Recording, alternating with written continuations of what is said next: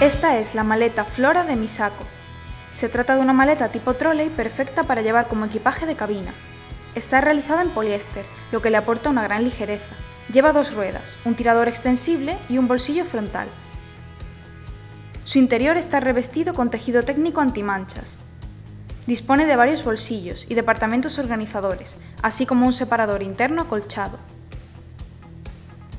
Esta maleta forma parte de la colección Flora, que también se compone de un estuche, un portaordenador y una bolsa de fin de semana.